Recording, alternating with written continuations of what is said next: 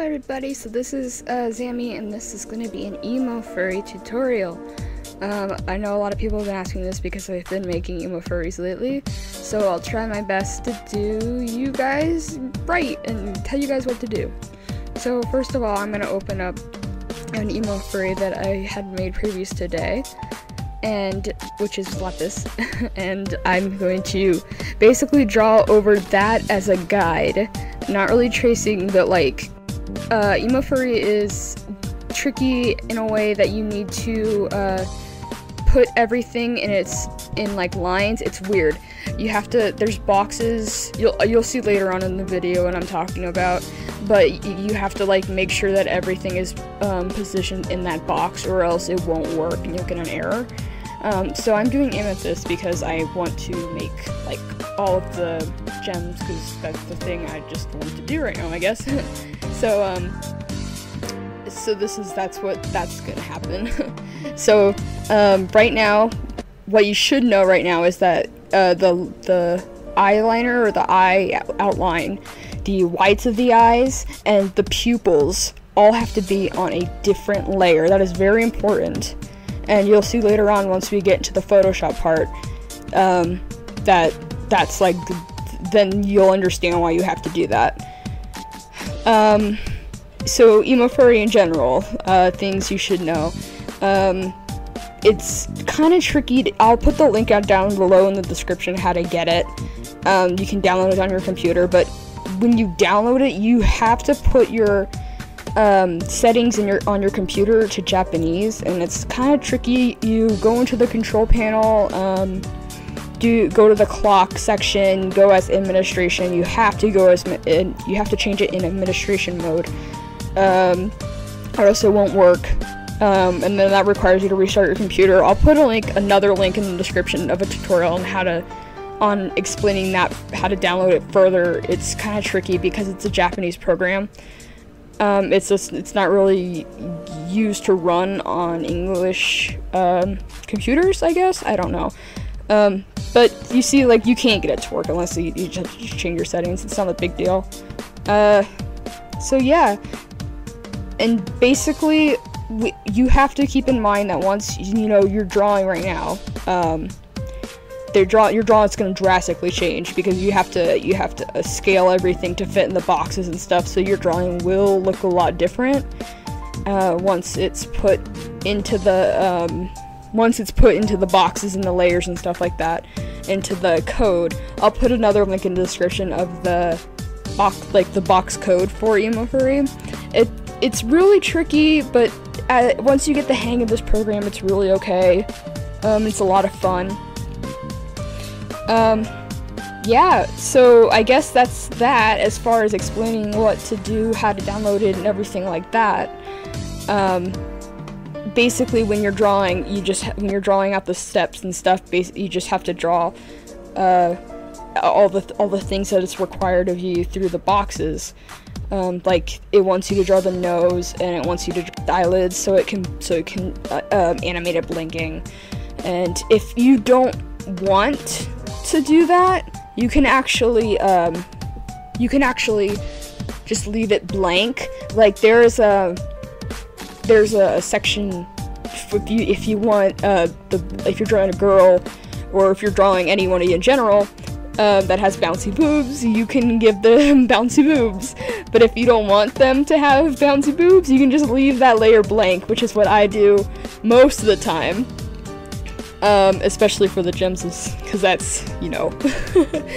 um, but yeah, so I guess we'll just skip right ahead along and um, just enjoy this drawing out the drawing out amethyst for the time being.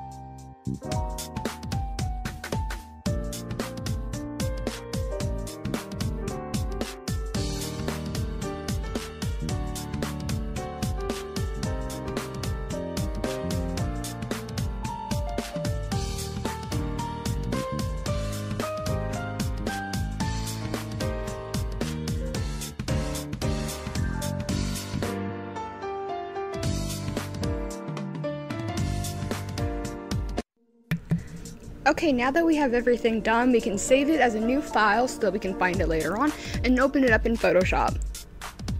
This is probably uh, more the this is more the trickier part is um, opening up a opening it up and putting it into the boxes. Like I said, this is a previous uh, EMOFURI I had made a long time ago, Princess Bubblegum, and as you can see here, the boxes.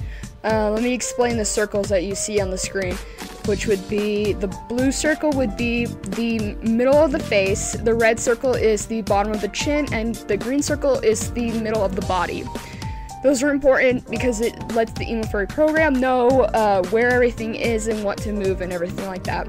If your items are not inside these the red boxes that were present, uh, they, you will get an error code. Error, sorry, error, error code. Sorry. um, and it will tell you that it's not going to do it, or it will just actually cut off part of the, like, if your mouth is outside the boxes, it will just cut off part of the mouth, and it, yeah, or part of the hair. So you have to really make sure that everything is inside the box, and also like your drawing's gonna look a lot different because you have to you have to scale everything and proportion it into the boxes. If I if my memory serves, you can actually um, make the boxes bigger to accommodate your size of the character you're doing. Um, like if you have a character with really huge lips and the box is way too small to carry those lips, I'm pretty sure you can uh, make the boxes bigger um, to accommodate that. And I think that's what you'll see later on with Amethyst. There's also something you can do where you can add you can add more pieces of um, accessories like hair and like bows and stuff and hats and different parts of clothing um, that bounce independently if you want that to happen, which is what I'm doing with Amethyst bangs and that little strip of hair that I added on just now.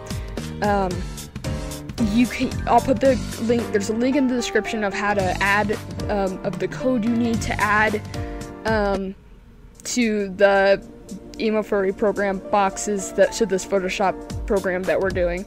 Um, there's a link in the description for that, and we'll step you, we'll walk you through that too, and I'll, I'll help walk you through it when we get into the, the EMOFURI program itself.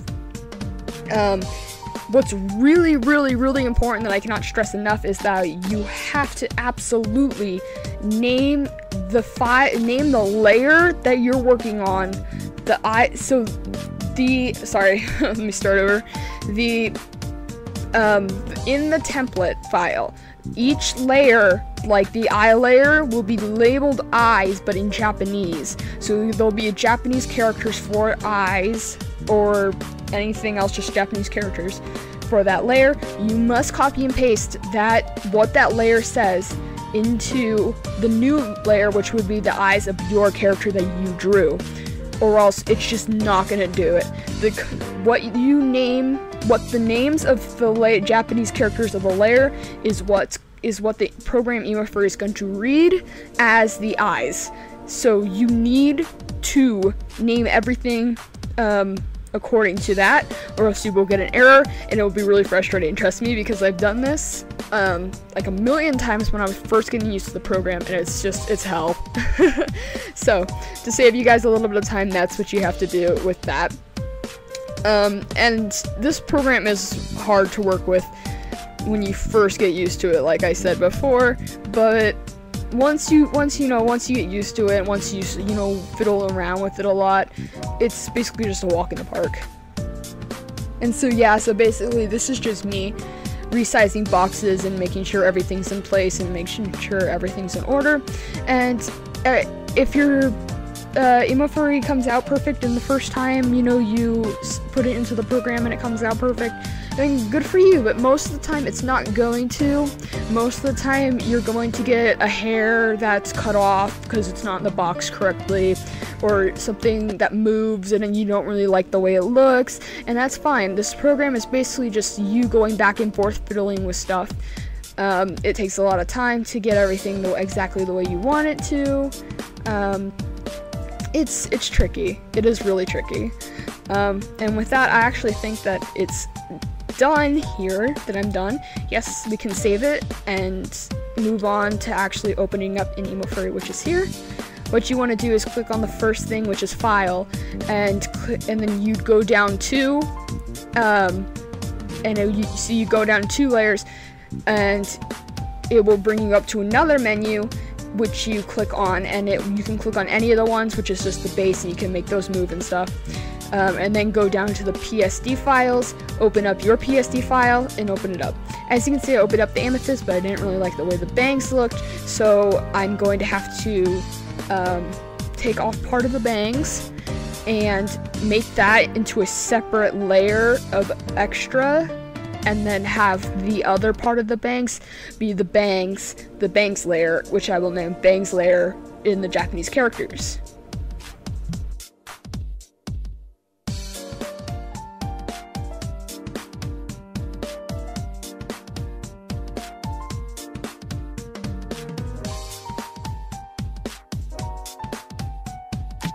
Like I said, this program is just a lot of fiddling. You just you just um, fiddle until you think everything looks right. Um, then open it back up in EMOFURI. You have to do this every time. Um, just keep opening it up, closing, open up. And if memory serves, see the, the blue boxes at the very end. You have to, what you have to do is you have to click on the back it's the top button, it's the longest button, it says BG on it. You click on that and it brings you to different layers. See, at this moment of time, I actually forgot about that, but I'll remember later on.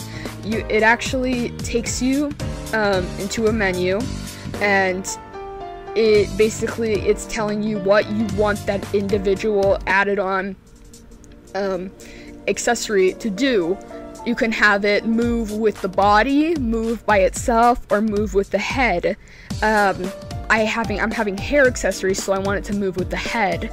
So I would click move with the head which is right now. See, it's the second one is move with the head, and then the second one is, um, and then you, and then bring to another menu, which is you can move it independently with the head, or you can move it, make it sway back and forth. You can make it sway left.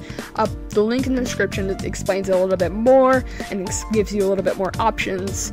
Um, just read through that, and it will help you a lot. Trust me, I reading through it to just brushing up because I haven't actually um, done any actual like tutorial stuff in a long time, so I didn't know how to explain that to you.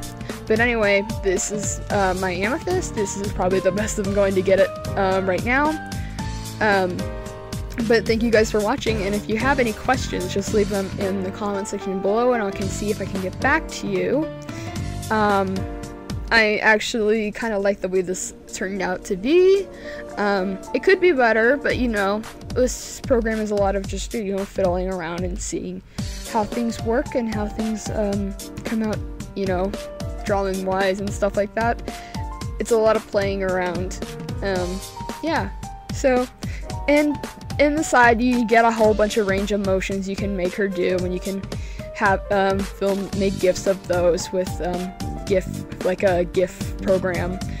Um, and yeah, so you have a bunch of movie clips and the program. Just make it, um, make that do, make those actions do that, and it's a lot of fun and easy to do if you if you um, have time to fiddle around with the program. Like any other program, um, it's easy to figure out once you get the hang of it. Um, so thank you guys for watching. Um, if you have any more questions, leave them in the comment section below, like I said before, and have a nice day.